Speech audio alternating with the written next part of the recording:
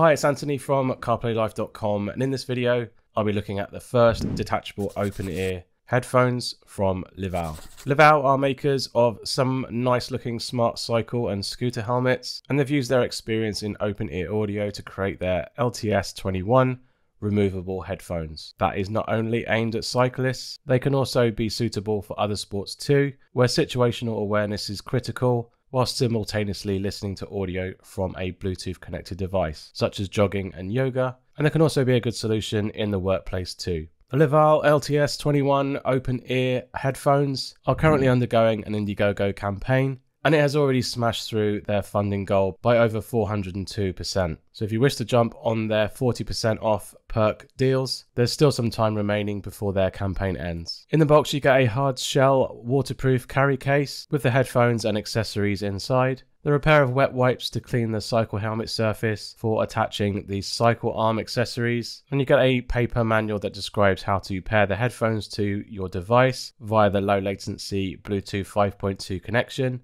In the fabric covered hard shell carry case, you get a set of six replaceable 3M adhesive stickers for the helmet mounting arms. There's an 800 mAh charging case with the headphones inside, a 50 cm USB C to USB A charging cable. There is an over ear neckband to attach the headphones onto. And for the Pro Edition, there are a pair of helmet mounted arms and adhesive attachments. All of the Indiegogo perks come with an additional remote control as a free gift. This accessory is mainly aimed at cyclists and it allows you to pair it to the headphones as well as its mobile app to allow you to navigate your audio and adjust the volume, invoke Siri or your Google Assistant, and if you pair it with their Livall app, you can use this control to trigger the intercom to communicate with any other group of riders that you might be cycling with. The remote is battery powered and it connects directly to the headphones or your mobile if you use it alongside their app. The remote comes with two rubber inserts that can fit onto different sizes of handlebar thicknesses and it secures to the handlebars with a thick elastic rubber loop.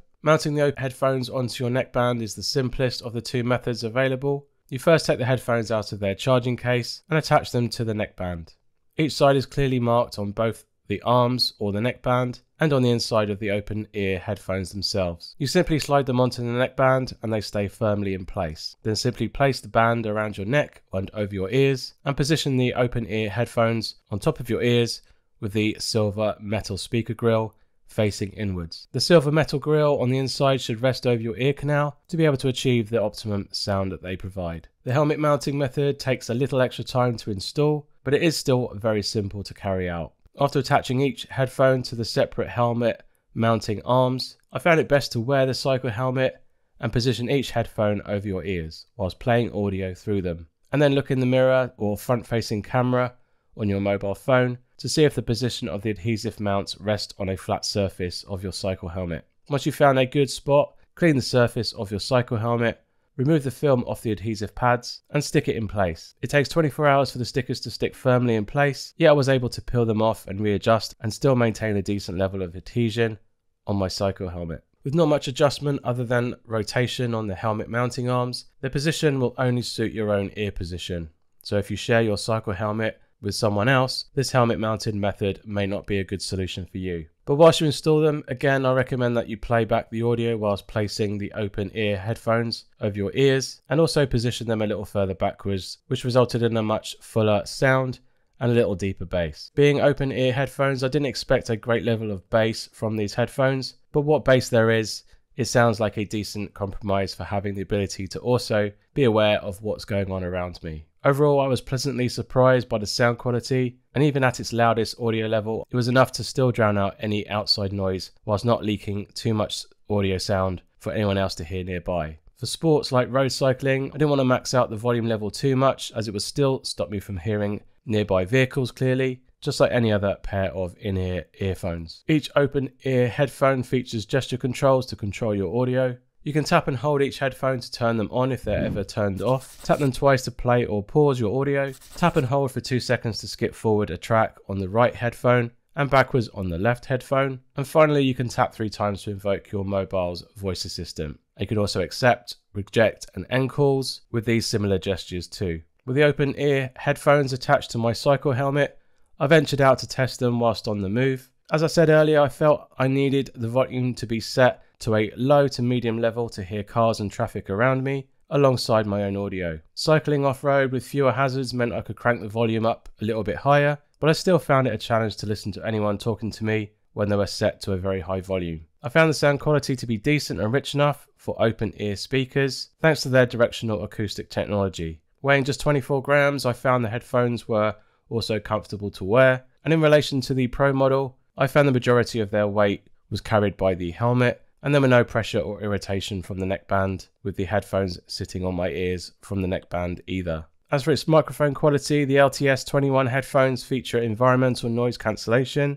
here is a microphone test without background noise. Hi, this is Anthony from CarPlayLife.com, and this is an audio message test using the Livall over-ear headphones, and this is an audio test without any background noise. And here is an audio test with background noise. Hi, this is Anthony from CarPlayLife.com, and this is an audio message test using the Livall wireless open ear headphones, and this is an audio message test with some background noise.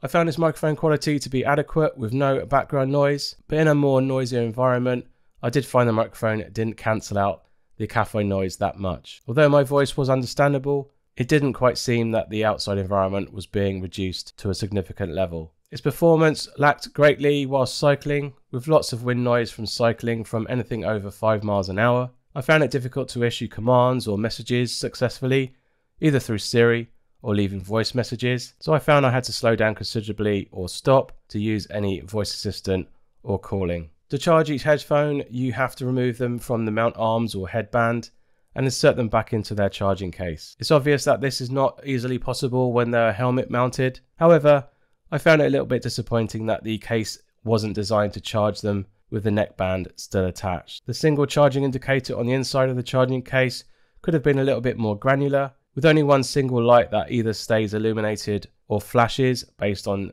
charging rates above or below 20%, it makes it hard to truly understand how much charge is left in the case, as well as how charged the headphones actually are. Android users will have the battery remaining levels shown in the OS, but for any iOS users, we're left in the dark as to how much charge is actually left in the headphones. And with that, I found that a little bit disappointing. The LTS 21 Pro open ear headphones from Livall currently sell on Indiegogo for 40% off its retail price of $89 and for 41% off their full retail price of $79 for the Sport Edition, which comes without the pair of helmet mounting accessories. If you're looking for an open ear sports headphone solution that's free from heavy leaking sound, that doesn't rely on bone conduction or create any irritating sound vibration, these open ear headphones could be what you're looking for. They sound great for open ear headphones and they feel comfortable, whilst offering 12 hours of operation or 48 hours whilst using its charging case. Its bundled remote control can take some of the frustration away from using the gesture controls on the headphones themselves, but I did hear regular disconnections from it. However, this could be from the remote disconnecting to save on its small internal battery. Once you learn where to touch the headphones to control your audio, the touch gestures are reliable enough to interact with your audio even with transparency modes on earbuds, I find having anything inside my ears can limit me from being fully aware of any situations that are around me. And with the right volume level, these headphones from Livall can reduce this feeling, making it comfortable and safe for sports and also in the workplace, where being aware of your surroundings is just as important as the audio that you might be listening to. Alright, thanks for watching and I hope you found some value in this video. If you have, please hit that like button and let me know in the comments if you have any questions about the LTS21 open ear headphones from Livall. You can check out all my other audio reviews up in the top left playlist window. Hit that subscribe button and bell to catch all my future content, and I'll see you on the next one. Cheers. Bye.